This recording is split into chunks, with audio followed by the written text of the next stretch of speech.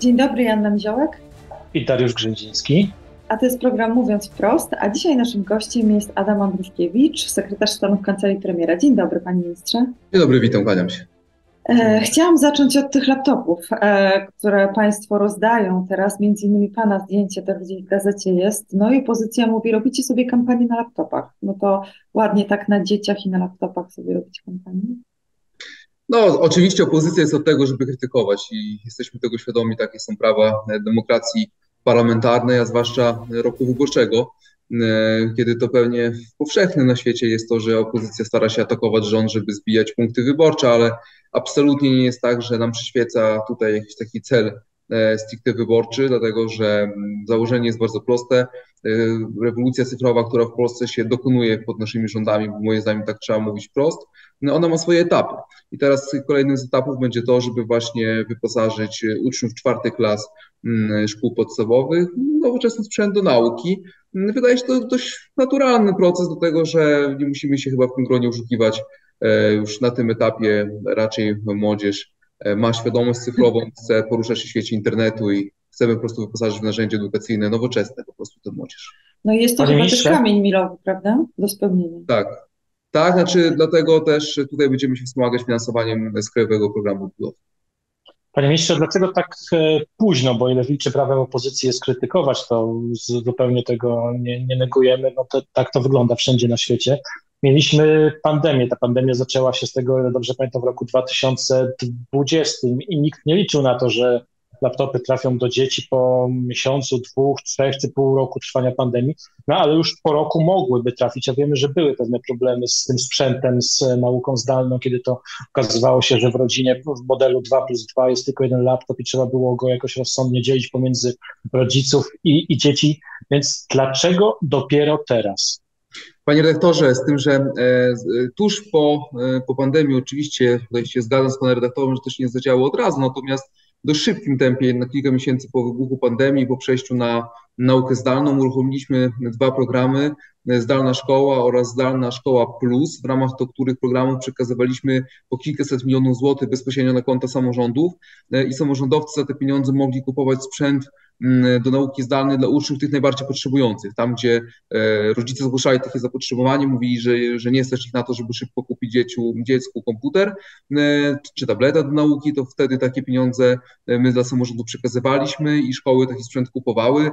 Do tego też uruchomiliśmy niedawno program chociażby zakupu sprzętu komputerowego dla uczniów, byłych pracowników państwowych gospodarstw rolnych, PGR-ów. I tam też poszły, poszły duże kwoty i duże, duże, jakby można powiedzieć, Mm, liczby y, tego sprzętu do nauki zdalnej, także e, dzisiaj ten program, o którym rozmawiamy, o tych laptopach dla uczniów klas czwartych szkół podstawowych jest uzupełnieniem, natomiast wcześniej absolutnie również e, dziesiątki tysięcy sprzętu trafiły do, do uczniów. A czy w jakiś sposób nauczyciele dzisiaj są przygotowani do tego, żeby no jednak potrafić też wdrażać tą naukę przy tych laptopach dla czwartoklasistów, bo tam rozumiem też są programy, które oni będą musieli się nauczyć i to pewnie co z sobotami, wieczorami będą nauczyciele to dorabiać trochę? Jak zwykle, cały czas poza godzinami właściwymi. Ja jestem, jestem e, dzieckiem nauczycielskim, więc trochę wiem, o, jak to wygląda od środka. E, gdzieś obserwowałem to w domu się wychowując. E, natomiast no, wydaje mi się, że ten etap czwartej klasy to także jest etap, kiedy zaczynają się zajęcia z informatyki. To nie jest tak, że nagle my rekomendujemy, aby wszystkie lekcje były, odbywały się na laptopie. Nie, no absolutnie. No, jeszcze jesteśmy zwolennikami tego, żeby e, dzieci młodzież e, jakby były, były w stanie w tradycyjnym rozumieniu pisać i czytać. No, od tego są podręczniki. E, sam uważam, samemu zawsze lepiej mi się nawet uczyło z podręczników, chociaż już byłem z tego pokolenia, które miało dostęp do komputera. Urodziło się z tabletem w ręku. Nie, tak to nie, tak to nie. Pierwszy telefon gdzieś tam w gimnazjum był i to jeszcze nie smartfon bez internetu i tak dalej, więc nie, nie, nie. Natomiast, natomiast absolutnie jakby wydaje mi się, że ta nauka tradycyjna będzie w 100% zachowana. Bardziej chodzi o to, że czwarta klasa jest tym etapem, kiedy to właśnie dzieciaki zaczynają się już uczyć, mają zajęcia z informatyki pierwsze, tak, i wydaje się, że w tym świecie cyfrowym chcą się jak naj, jak najsprawniej poruszać. Do tego też właśnie ten wybór, ale absolutnie jeśli chodzi o nauczycieli, to planujemy tutaj również ich wyposażyć w sprzęt, ale również myślę, że będą uruchomione przez Ministerstwo Edukacji współpracę także z naszym pionem cyfryzacji szkolenia, jeśli takie zapotrzebowanie będzie wśród nauczycieli, żeby douczyć się jakby tutaj jakiejś takiej obsługi różnego rodzaju programów, które działają na, na komputerze przy okazji nauki, to myślę, że takie zapotrzebowanie będziemy starali się oczywiście realizować. Mhm. Panie ministrze, to te laptopy e, zostawmy, zobaczymy, co będzie od września, bądźmy dobrej myśli. Co dalej z ustawą o Sądzie Najwyższym? 14 poprawek zgłosił Senat. No, Sejm się nie zgodzi na to. to nie trzeba tutaj szklanej kuli, żeby taką wiedzę, myślę, posiąść. No myślę, że panie redaktorze, będziemy jednak wierni tej linii, o której od początku był premier Morawiecki, czyli że jest to ustawa, którą napisaliśmy jako kompromis y, tutaj z Unią Europejską. Tak, na to się umówiliśmy z Komisją Europejską, że ta ustawa, która powstała e, w Warszawie, została zaakceptowana finalnie przez urzędników Komisji Europejskiej jako ten dobry kompromis zmian przy Sądzie Najwyższym, zmian w ustroju sądownictwa w państwie polskim, który będzie do zaakceptowania e, przez Komisję Europejską jako wypełnienie jednego z istotniejszych kamieni milowych, który będzie umożliwiał nam pozyskanie środków z KPO. E, także to także sygnalizowaliśmy opozycji, prosiliśmy, żeby tę ustawę nie zmieniać, żeby również Senat zebrał się jak najszybciej. No niestety Senat nie słynie z tempa pracy, jak widzimy, ciągle zachowuje ten negatywny stereotyp o sobie, że jest... No tutaj było dość szybko, mówmy się, wszystko załatwione. No tak, chociaż można by było szybciej. Ja e, gdzieś tam obserwuję pracę Senatu często od środka, biorąc udział w tym procesie legislacyjnym na etapie rządu, reprezentując rząd w Senacie i rzeczywiście tam tempo pracy jest inne niż w Sejmie, dużo wolniejsze. E, no tak, ale e, jak w ogóle Pan teraz ocenia, nawet jeżeli odwrócicie te poprawki, bo rozumiem, że Solidarna Polska jest już dogadana z Prawem i Sprawiedliwością co do, co do tego, no to jest jeszcze pytanie o prezydenta, o ten podpis, czy on podpisze i odeśle w ekspresowym tempie do Trybunału Konstytucyjnego? I w ogóle kiedy te środki będą, bo to też jest kluczowe, czy na przykład nie okaże się, że one będą po wyborach, no bo premier mówił o trzecim, czwartym kwartale, to może być pod koniec roku. No tak, pani redaktor, z tym, że hmm, odpowiadając może w drugiej chronologii, to jakby no my nigdy nie mówiliśmy, że te e, pieniądze są nam potrzebne do kampanii wyborczej, tak mówiła opozycja. E, opozycja twierdziła, że e, naszym celem jest to, żeby pozyskać te środki, robić na nie kampanię. To jest nieprawda. My chcemy realizować szereg projektów dla państwa polskiego, także po wyborach będą realizowane projekty z tych środków. Także moment, kiedy on wpłynie, no oczywiście my będziemy się starali, żeby te pieniądze były jak najszybciej dla dobra polskiej gospodarki, bo nie jest tajemnicą, o tym mówi wiele ekspertów, że Mm, zatwierdzenie i wypłacenie Polsce KPO będzie powodować pozytywny impuls do gospodarki, umocnienie się złotego między innymi, tak, to jest dzisiaj ważne. E, natomiast absolutnie jakby mm, jak te pieniądze będą również jakiejś części wypłacane po wyborach, no to, no to ważne, żeby będą trafić do Polski, to jest dla nas najbardziej istotne. Mam takie wrażenie, że to Platforma Obywatelska chciała po prostu robić kampanię na tym, że tych pieniędzy nie ma i opowiadać, że Polakom, że albo wybieracie nas i pieniądze, albo Prawo Sprawiedliwość i, i wtedy będzie problem. Tak pewnie chciała robić opozycja, my tak nie chcemy robić. E, a wracając do pana prezydenta, to tutaj e, są pozytywne sygnały, słyszymy od pana prezydenta, że będzie się tym ustawą e, przyglądał. Ja słyszałam, że mówi do takiej pozytywnej opinii, optymistycznej dla nas, więc mam nadzieję, że finalnie pan prezydent będzie pozytywnie rozważał podpisanie po prostu tej ustawy, no ale na samym końcu naturalnie przyjmujemy z pokorą decyzję pana prezydenta, jak ona będzie, to jest jego wyłączna prerogatywa. Nie bez przyczyny jest flaga Unii Europejskiej za pana plecami. Jest od początku, kiedy tutaj jestem. Zresztą nie, ja, szanowni państwo, jestem zwolennikiem obecności Polski w Unii Europejskiej, tylko pytanie, w jakiej Unii mamy być, bo to jest chyba temat na pewnie dzienną rozmowę, ale wydaje mi się, że sama obecność Unii jest dla Polski pozytywna, ale trzeba obserwować, w jaką stronę Unia jest reformowana, w jaką stronę zmierza. Do propozycje niemieckie, żeby budować takie federalne superpaństwo, e, znieść chociażby jednomyślność w głosowaniach niektórych i tak dalej, to, to raczej tutaj będziemy jako Polska sceptyczni wobec tej propozycji. No, Unia jest organizacją polityczną również, prawda, więc podlega takim samym ocenom publicystycznym, dziennikarskim, jak każda inna organizacja. Tak. Panie ministrze, mam wrażenie, skupiliśmy się tutaj na tych ustawach o Sądzie Najwyższym, ale są też inne kamienie milowe, no chociażby ta ustawa wiatrakowa i jeszcze kilka innych. Więc to każe stawiać pod znakiem zapytania takie optymistyczne głosy mówiące o tym, że to będzie trzeci, czwarty kwartał. I chciałem zapytać pana tak zupełnie po ludzku, że abstrahując od polityki, czy pan wierzy, że te pieniądze rzeczywiście jeszcze w tym roku do nas trafią? Panie redaktorze, no, jestem umiarkowanym, ale jednak optymistą. E, umiarkowanym z tego względu, że mm, obawiam się, że troszeczkę, tak jak pan redaktor wspomniał o tych ocenach publicystyczno-eksperckich, one również są wokół środków unijnych i czasem przysłuchuję się tej debacie właśnie gdzieś tam na, na poziomie tym eksperckim, nie politycznym stricte i tam padają takie głosy, że być może na przykład w interesie Niemiec byłoby dzisiaj blokowanie Polsce środków unijnych, E, do tego też, że słyszymy, że Polska ma swoje geopolityczne 5 minut dzisiaj, e, rośnie w siłę, e, tak? I być może niektórzy mają taką koncepcję, żeby nie urosła za bardzo. No bo jak Polska rośnie, no to inni troszkę tracą na tym i, i takie mogą być ciągoty, mówiąc już tak po ludzku, jak pan redaktor chciał. Natomiast mam nadzieję, że na samym końcu jednak Komisja Europejska powinna docenić to, że ta ustawa, chociażby kluczowo o Sądzie Najwyższym, e, mam nadzieję ustawa wiatrakowa pewnie również finalnie, e, te główne kamienie milowe będą przechodzić również z poparciem opozycji. Więc jeśli tutaj mamy mm, taki szerszy konsensus w Polsce co do tego, do tych kamieni milowych i wypełniania ich, i realizacji jakby kompromisu, na który się mówiliśmy z komisją, no to komisja powinna patrzeć nie tylko na mm, samo Prawo Sprawiedliwość, ale również na to, że to jakby głos całej, całej polskiej sceny politycznej. No i jeśli staniemy oszukani na końcu, no to nie tylko my, ale wszyscy parlamentarzyści, którzy za tymi ustawami e, głosowali, a idąc dalej także ich wyborcy. Więc mam nadzieję, że jednak Komisja Europejska ma świadomość, że to już jest tutaj jakby rozmowa z, całą, z, całym, z całym narodem polskim, z całym społeczeństwem, z całym spektrum wyborczym, a nie tylko z naszym rządem stricte skoro my jesteśmy przy tych sprawach europejskich, e, no to przejdźmy do tej Ukrainy i tego, czym się też Pan zajmuje, czyli e, no, ochroną, jak rozumiem, w internecie ludzi przed tymi trollami rosyjskimi. Jak dzisiaj duża jest ta skala tej propagandy rosyjskiej, która wdziera się do e, internetu i któremu też ulegają Polacy? No niestety jest e, bardzo duża i tutaj pani redaktor ma również niestety rację, że troszeczkę osób uległo tej propagandzie. Pamiętamy sam początek wybuchu konfliktu. E, internet zalały takie informacje, że zabraknie gotówki w bankomatach, że zabraknie paliwa na stacjach benzynowych, że należy szybko szturmować te miejsca, żeby tam wydobyć resztki gotówki i paliwo gdzieś tam do, do domu schować. E, to były takie celowe działania. One miały jasno określone zadanie, czyli destabilizację e, państwa polskiego, żeby właśnie w tych pierwszych dniach, dzisiaj jest głośno tych tak zwanych pierwszych 10 dniach wojny, żeby w tych pierwszych właśnie dniach e, Polska nie była zdolna. Ale z innego powodu. No tak, ale zgadzam się, ale jakby tutaj to pokazuje wagę tych pierwszych 10 dni i tutaj polski rząd akurat stanął na wysokości zadania, wykorzystał te pierwsze dni do szybkiej organizacji wsparcia dla Ukrainy, ale Rosja miała też taki cel, żebyśmy właśnie zajęli się sobą jako Polacy, tak? Czyli zajęli się gaszeniem pożarów, w obrębie własnego państwa, nie skupili się na pomocy Ukraińcom. To się nie udało. Y, trochę osób uległo, ale nie większość na szczęście. Ale dzisiaj w dalszym ciągu ta, taka kampania dezinformacyjna w sieci jest prowadzona. Y, my to obserwujemy bardzo wyraźnie.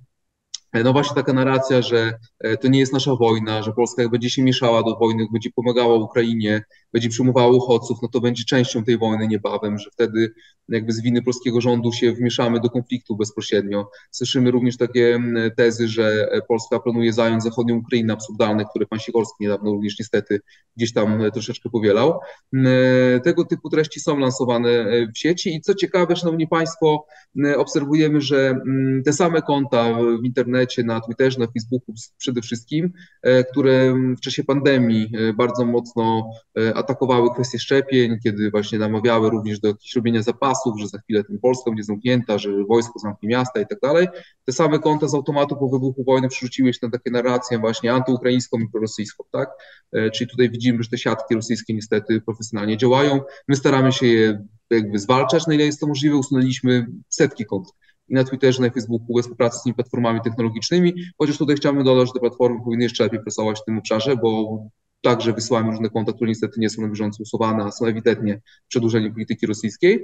Mm, natomiast... Czyli Państwo po prostu znajdujecie takie konta, tak? I y, usuwacie je wtedy? E, tak. W Państwowym Instytucie Badawczym NASK y, funkcjonuje specjalna e, komórka do weryfikacji właśnie działań dezinformacyjnych. Ona jakby na bieżąco, tam jest zespół kilkunastu osób, które na bieżąco w czasie rzeczywistym pełni dyżury w internecie i jakby wychwytuje tą taką dezinformację, propagandę rosyjską, ale również nam ludzie zgłaszają. To jest naturalne. Nieraz sam dostaję takie wiadomości, gdzie widzimy ewidentnie taką ruską propagandę, już mówiąc tak zupełnie po ludzku.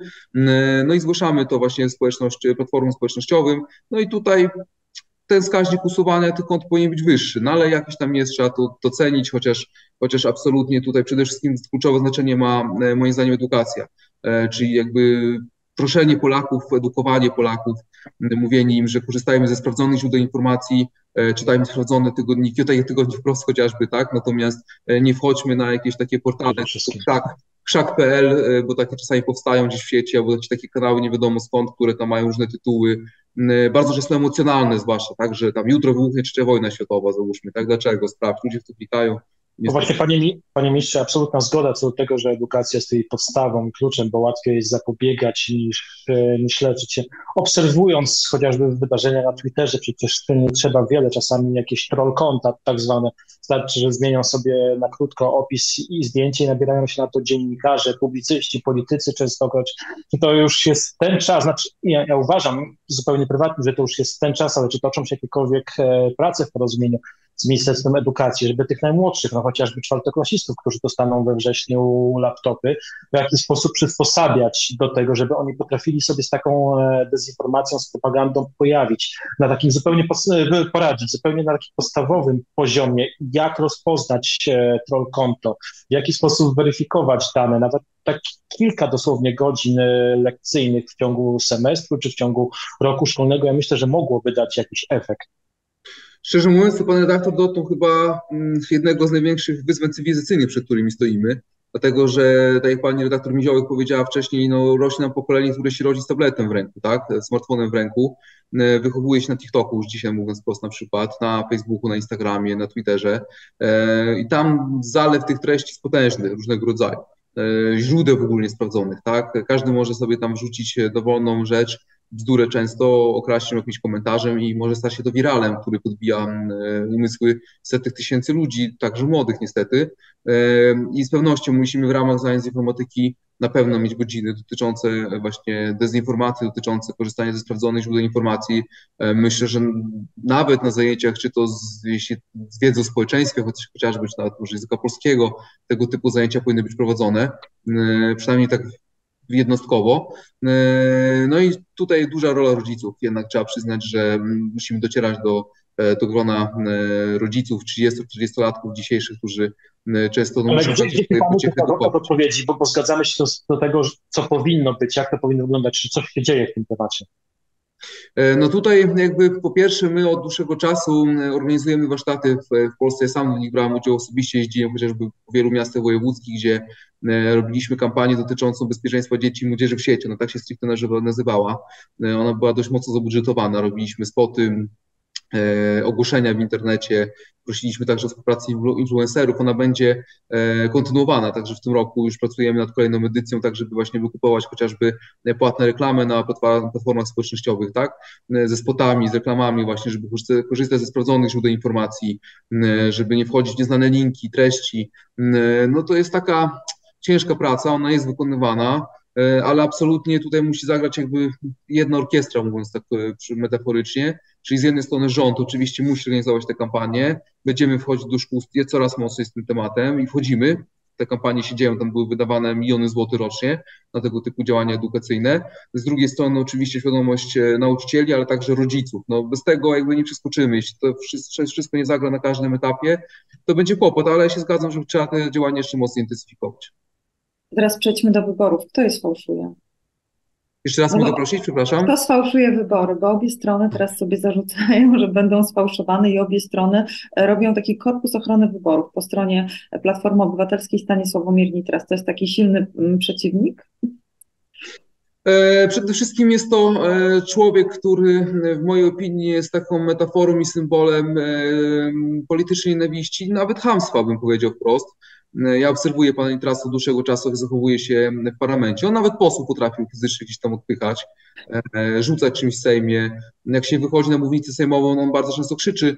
Jeśli państwo nie byliście na mównicy sejmowej, nie mieliście tej okazji, to powiem tylko, że tak, tego, tak się może nie wydaje, ale e, bardzo dobrze słychać to, co posłowie krzyczą. E, mimo, że mamy włączone mikrofony, jak ktoś siedzi, a pan Nitras celowo siada na samym dole tam blisko i zakłóca po prostu. Ktoś tam coś mówi, nawet pamiętam, że byłem w typowo merytorycznych postawach dotyczących cyfryzacji, edukacji, tak, no, przychodzi, krzyczy tam coś, jakieś pytania, nieuprawnione zadaje i tak dalej, wybija z pantyłku, mówiąc tak uczciwie.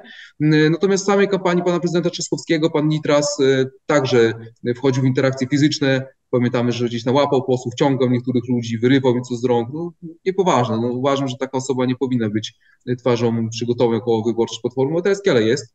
E, ale w ogóle Prawo i Sprawiedliwość szykuje się do tego, żeby te, te wybory były jak najbardziej przejrzyste, transparentne. E, wzmacniamy obecność społeczeństwa przy liczeniu, liczeniu głosów.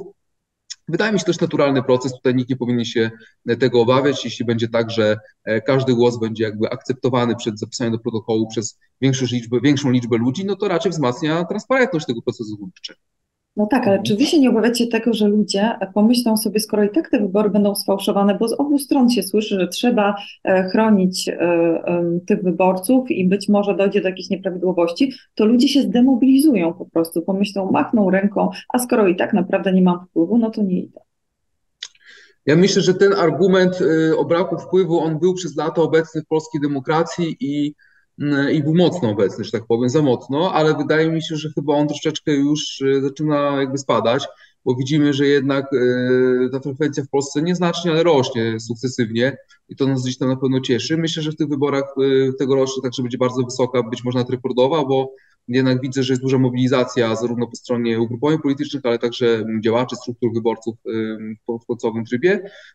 I wydaje mi się, że nie, że raczej tak to nie powinno zadziałać. Ja, ja, się, ja liczę na to, że zadziała w tym kierunku, że po prostu zwiększymy e, przejrzystość, bo co tu dużo mówić, ja sam kiedyś pracowałem w komisji wyborczej jako młody człowiek jeszcze E, gdzieś tam 10 lat temu chociażby nawet, e, tak, i widziałem, że naprawdę e, potencjalnie mogło być, to mogło dochodzić do różnego rodzaju dziwnych zachowań, na przykład przy liczeniu głosów, przecież wiemy, że jak się liczy głosy, to głos nieważny to jest dość łatwo spowodować. I wydaje się, że jednak to powinna większa liczba osób liczy te głosy, niż na przykład to jest tak, że ktoś dostaje połowę kart i tam się mówić sobie tam gdzieś z boku te głosy, taki zapisuj na kartce, potem to sumujemy. No tak do tej pory często to wyglądało, zwłaszcza w mniejszych miejscowościach i chcemy z tym walczyć. Psują demokrację na pewno takie oskarżenia o fałszerstwa, czy też o chęć fałszowania wyborów i to po obu stronach. E, na koniec z mojej strony, panie ministrze, pytanie o spoofing. Kiedy ustawa antyspoofingowa, bo gdzieś tam w połowie ubiegłego roku mieliśmy pierwsze sygnały o tym, że taka ustawa jest przygotowywana, że ona będzie. Ja przyznam się, że bardzo osobiście zależy mi jak najszybszym e, sfinalizowaniu tych prac, bo byłem e, świadkiem takiego wydarzenia w mojej najbliższej rodzinie, kiedy ta osoba starsza dostała SMS z informacją o tym, że na skutek niedopłaty jest planowane odcięcie prądu. Ja widziałem reakcję takiej osoby, na, na, na takiego SMS-a. To w tej chwili plaga. My, ludzie młodsi, ci urodzeni z tabletem w dłoni, być może chociaż też nie jest to regułą, są w stanie lepiej poradzić sobie z, z czymś takim, ale właśnie w tym pokoleniu 60, plus, no podobne wiadomości wywołują popuch i, i, i są plagą, więc ta ustawa jest, jest pilnie potrzebna, więc kiedy? Jest pilnie potrzebna, nad tą ustawą pracuje minister Janusz Cieszyński. E, jak go dzisiaj po Sociecku e, poproszę, żeby też mi powiedział termin, bo, bo to jest jego ustawa autorska, e, ale tutaj trzeba przyznać, że minister Cieszyński jakby ten temat mocno porusza i w ogóle jest tak, że to zjawisko jest dużo szersze i niestety wiele osób się na to łapie, a zwłaszcza, że różnego rodzaju dzisiaj ataki na, na ludzi, takie można powiedzieć właśnie chociażby przez SMS-y, są coraz bardziej wyspecjalizowane, są dedykowane często. No wiemy o tych SMS-ach, że na przykład, nie wiem, przesyłkę odbierz, kliknij w link, bo jak nie to przepadnie, tak? Właśnie o tych upadkach, redaktor mówi.